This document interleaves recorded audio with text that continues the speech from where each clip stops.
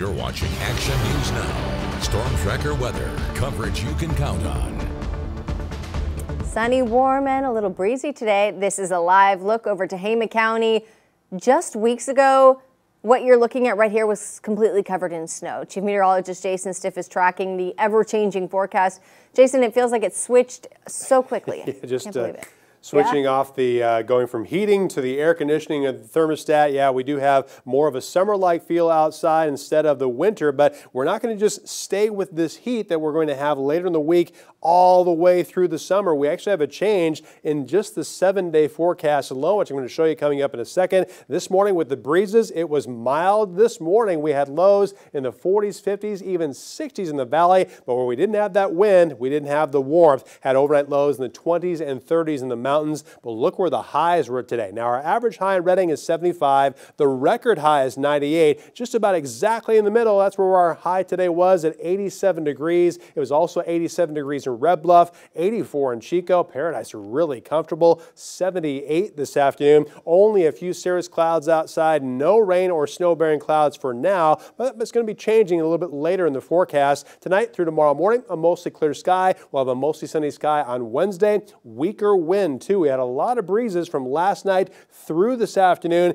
That will continue through tomorrow morning, but by tomorrow afternoon, it will be weaker breezes moving in from the north. We'll still have a mostly sunny sky to sunny sky all over Northern California Thursday, Friday, and Saturday as this ridge continues to strengthen, and it's going to be at its maximum strength both Friday and Saturday afternoon with temperatures between 15 and 20 degrees hotter than it should be for the last few days of April and the first few days of May. However, when May is going to get here, that's when another Pacific storm is going to get here. On the last day of April on Sunday, increasing clouds, more breezes. There is a slight chance for some valley rain and mountain snow late Monday into Tuesday. You'll definitely feel the cool down and we'll also have some breezes. Now, I want to show you one of our long-term forecast models and you'll notice how much precipitation it brings. Most places staying fairly light, less than a couple tenths of an inch. However, it is widespread for everyone. In the second half hour, I'm going to show you our other forecast model, which has a little bit different idea of what's going to be happening as far as our rain and our snow is concerned. And as far as the wind goes, we're still going to have the breezes late tonight through early tomorrow,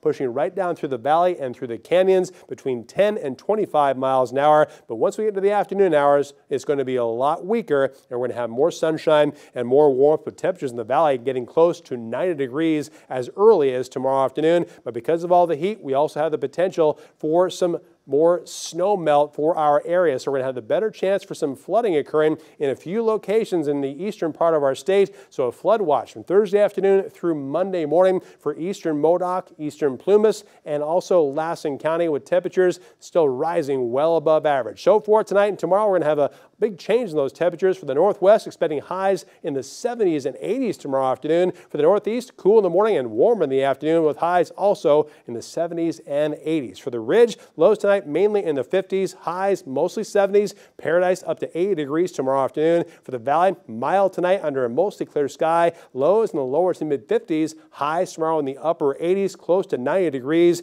And for the Chico area, lows tonight also in the lower to mid 50s, highs mid to upper 80s, close to 90 degrees tomorrow, and we'll be in the 90s by Thursday, Friday, and Saturday, up to 93 in Chico both Friday and Saturday before we really cool down next week. And for the Redding area, upper 80s, close to 90 degrees tomorrow, 90 to 95 Thursday through Sunday, dropping down to the lower 80s Monday with a slight chance for showers and breezes, and a better chance for showers with highs in the 70s a week from today. So much going on, Jason. Thank you. And you can